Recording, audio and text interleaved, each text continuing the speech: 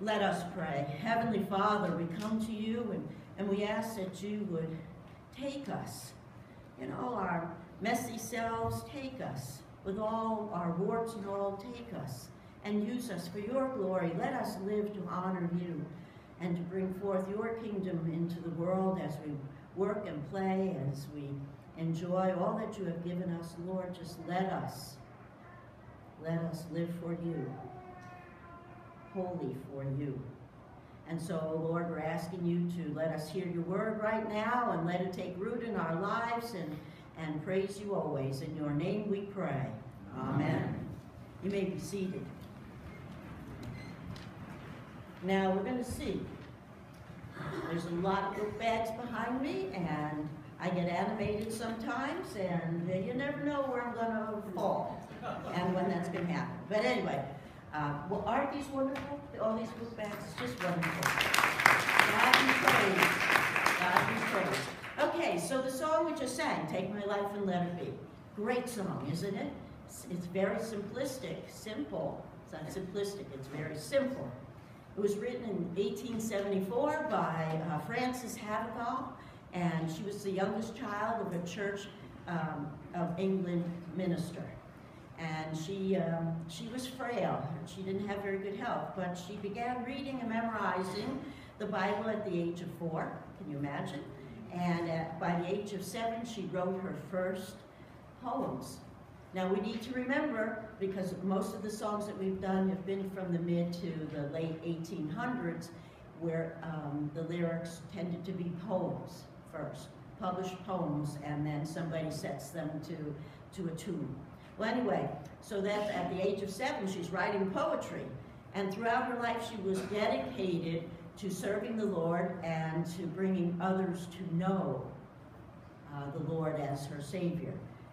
And for, and for others, yet others, to seek to go deeper uh, in the spiritual journey of faith. And she died at the age of 43, very young. She wrote several songs, several hymns, um, but anyway, she lived a very simple life, honoring God.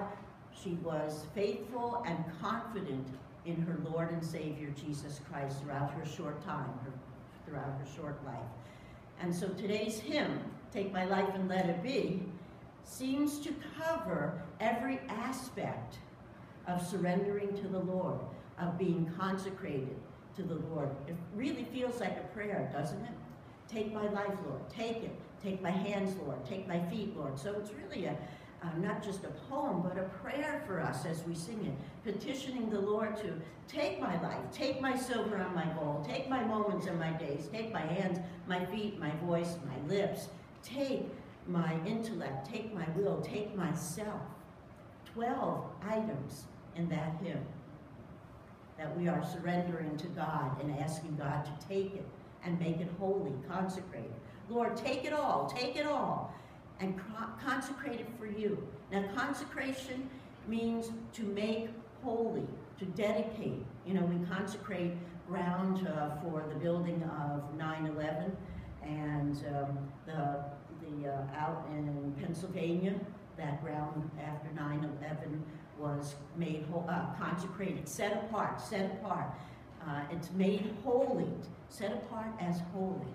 So this hymn talks about us surrendering to God, surrendering all that we have, and asking God to make it holy. Consecrate it, make it holy, set it apart, set apart all of us, our entire being, all that we are, set it apart so that it is holy and therefore works for the glory of God as we live. And so the first uh, to set apart all that God has first given us, our time, our talents, our possessions. Make them holy, Lord. Take my hands, my feet, my voice, my possessions. Take everything that I am, all that I am. Set it apart for you, God. Set it apart for your sake in the world. Not just to make us holy for our sakes, but so that the world is influenced by our holiness and it points to and brings glory to God. So we are singing, we are saying to the Lord, listen to the, to the list I came up with, and maybe you can add to it. Take my mind, take my heart, take my emotions, take my will, take my attitude, take my behavior, take my resources, Lord, take my time, take my talents, take my calendar, take my relation, relationships, take my profession or my employment, take my vocation, take my skills, take my family, take my cultural background, take my finances, take my plans, take my priorities, take my service, take my lifestyle. Set it all apart. Let it be wholly yours. And so we are asking God to help us to yield all of that list and so much more to his will and to his ways. From the first reading from Romans 12. Dear brothers and sisters, I plead with you to give yourselves to God as a living sacrifice, holy sacrifice. Don't be like the world. Don't copy the behavior and the customs and the attitudes of the world, but let God transform you into a new person, a new person to honor him and bring glory to him. So we're asking God to transform us, to make holy our entire being. And so we ask God to consecrate us, to give up our claims on ourselves, and give ourselves to the Lord. We put ourselves completely in God's hands. Before we seek to be consecrated, our life was for our own use, really. As we ask God to set apart our lives, our lives no longer come become for our own use or our, or our own satisfaction. In consecration of our lives, we live for him, we live in him, and we live with him. We are saying, Lord Jesus, I am for you. I am no longer for myself. I'm no longer for the world or anything else. I am wholly yours to impact and influence the world for your sake. We are a generation. We are a generation in which Christ is simply a part of our lives. But we need to be a people that puts Christ at the center of everything we do and say and are about. Take my life, Lord. Take my heart. Take my love. We live in a time when the most we are called to give God is an hour, hour and a half, some churches two hours um, to spend with God. Or uh, we feel as if we need to give God a little time on a Sunday morning or in service to Him, a little bit here and there, bringing in the book bags. And we say, God, take this part of my life. Take this part of my life and keep, and I, will keep the rest for what I want to do and what I want to be about. For most of us, giving God everything that we are about isn't even on our radar screen, is it? Yet Jesus says to us, take up your cross and follow me. Jesus in the gospel for today says to several people, I want you to follow me. And those people had excuses. And he's saying, I want you to give up your excuses. It's now or never. Don't look back. Don't look back. Just plow ahead. Don't look back. Don't have your excuses. Jesus in the gospel today is saying, you know, I don't have any place to live, so if you're intending to follow me, you're not going to be at the Hilton Hotel. You're going to be out in the bushes, you're going to be under a tree, you may be invited to someone else's house. Then he says, you know, to the other one, well, you know, the other one's got to bury his father, and he's saying, hey, listen, there's, the time is now. Make a commitment now to follow me. And the other one says, you know, uh, I, I got to say goodbye to my family. No, the time is now. Jesus is saying. You make a decision to follow me. There's no compromising. You and I are either sold out to Jesus Christ or not.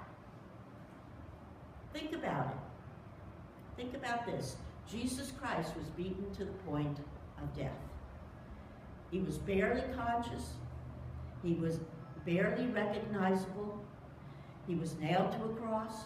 He took the punishment and the shame for our sins upon him. Hello, God. Thanks for letting us know if you heard the phone here. The King of Kings, the King of Kings, willingly left his heavenly home and his throne in heaven. He gave it all up and the singing of the angels. He gave it all up to become a human being. The one who is truly worthy to be served is the one who came to serve humanity, to serve you and me. He was beaten, he was bruised, he was broken, he, his skin was torn on his back, and he was bleeding, and he hung on a cross, and he died for you and me. All of this he willingly submitted to so that we would have a relationship with his Father in heaven, that we would have a relationship once again with God, that we would come to know God's power and presence in our lives and his, his great grace in our living and the gift of eternal life, salvation. If Jesus did all of this for us, taking on to himself all of the sins of the whole world for all generations, taking what we deserve upon himself, isn't he worth every ounce of our passion, of our time, of our talents, of our possessions, of our energy? Isn't he worthy of that? The very least Christ deserves is the very best that we can give him in this world. And so as we commit ourselves to Jesus Christ, as we seek consecration, a setting apart of all that we are about, we will experience the fullness of his power, his presence, his abundant life. So this great hymn, this great hymn, as simple as it seems, is a prayer that brings to mind and keeps us mindful of our need to have God take all that we are and set it apart. Consecrate it all. Make it holy for Him. So let's learn. Let's learn. Let's strive to yield our days. Let's strive. Let's learn.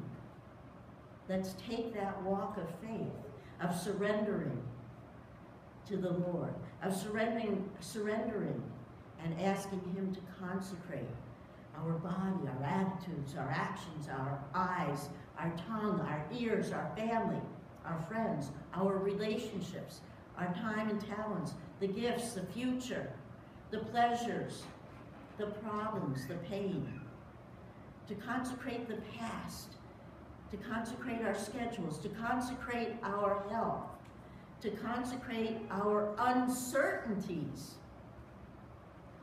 Have God make holy our uncertainties. For God to make holy our opportunities, our image, our reputation, our responsibilities, our passions, our life, our love. Make consecrate it all to God to the Lord. Yielded, consecrated. Because a life that is consecrated to the Lord is blessed with a transformed mind and a transformed heart. To understand God's way, to understand God's will more and more, better and better, richer and richer, deeper and deeper. Because a life that is consecrated to the Lord is blessed with the fruit of the Spirit. We talked about that a, a few months ago. Love, joy, peace, patience, kindness, goodness, gentleness, faithfulness, self-control. Ask God to consecrate, to make you holy, to yield to Him. Because then we know the blessing of an ever-growing victory over anything life can throw at us. Because God is in the midst of it with us. All our problems, our pressures, our pain, our turmoil, our tragedy, God will walk with us and make it holy. That means that it will unfold in the ways of God. And because a life is consecrated to the Lord, yielded to the Lord, it is a life which is blessed. We are blessed with an ever-growing wonder at the God moments in our lives. We started God moments years and years and years ago. And the stories that you share with one another, that you share with me, that people talk about. I just had someone tell me last night about a God moment, you know, uh, and God moments are all throughout our nation. We are blessed when we dedicate our lives, when we ask God to make our lives holy, our thoughts become so holy that we see God in action. We see God's presence all around us. A life that is consecrated to the Lord enjoys an ever-growing ease and peace and joy of living for Jesus Christ, walking the, in the ways of the Lord and living righteously, rightly, living lives that honor God. It becomes joyful. It becomes an ease to do it. And it becomes a peace in our lives. Take my life let it be consecrated for you, Lord. Take my life, set it apart, made holy for you, Lord. Take my love, Lord. Take my heart. Take myself, and I will be, the last verse, I will be forever only all for you. What a prayer song. Maybe you could memorize that, and that could be your prayer for your living.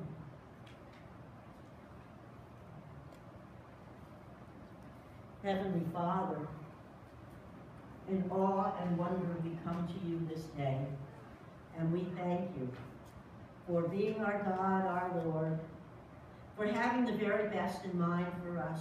As we trust that, Lord, that you have come to give us the abundant life, we can trust and live for you more and more.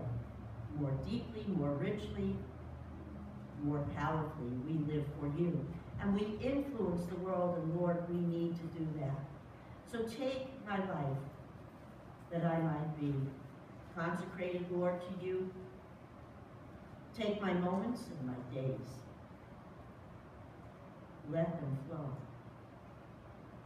In ceaseless praise to you, Take my hands and let them move at the impulse of your love. Let my hands be your love working in the world. Take my feet and let them be swift and beautiful for you. Let my feet walk and, and take me to places where I can influence others and touch others. Take my voice and, and let me sing always and only for you, our, our King, Lord. Take my lips so that I might speak, speak words of comfort and hope, speak words of the messages of who you are. Take my silver, my gold, take all that I have, Lord. It's been given to me by you. Take my possessions, Lord, and bless them. Set them apart to be consecrated and holy, made holy, so that they may be used for your glory take my intellect and, and use my mind, my brain, to speak, to teach, to influence for the sake of the gospel. Take my will and shape it. Shape it so it is your will, Lord. Take my heart. It is your heart living in me take my love I pour it out, Lord. I pour it out to you and I pour it out to those around me. And take myself and I will be ever and only all for thee. That is our prayer today, Lord. That is our prayer for you to live within us. Heavenly Father, we also pray for those who are ill or hospitalized, for those who are in need of your healing touch, especially we pray